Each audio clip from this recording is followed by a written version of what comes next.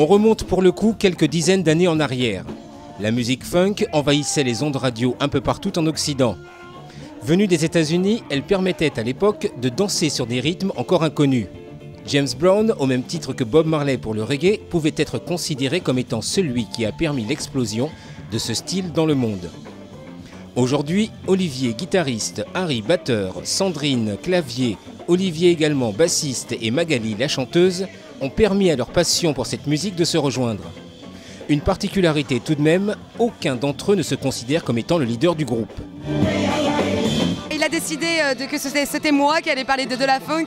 Donc on est une euh, super bande de potes qui adorent la musique et on a choisi de faire du funk parce que c'est un esprit euh, festif, qu'on a envie de s'éclater en, dansant, en faisant plaisir aux gens. retour à notre époque aussi. Cette association entre eux qui a engendré la naissance de ce groupe se base sur deux choses.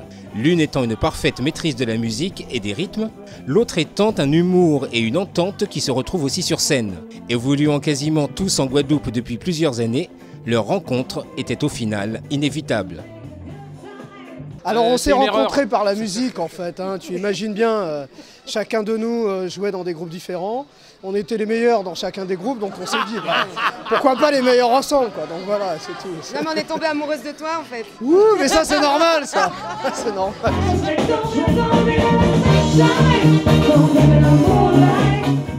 Cette formation donnera de nouveau une représentation ce soir au pied du phare de Vieux-Fort avant une prochaine date le 9 septembre à Trois-Rivières pour tous les amoureux de la musique funk et les nostalgiques de cette époque.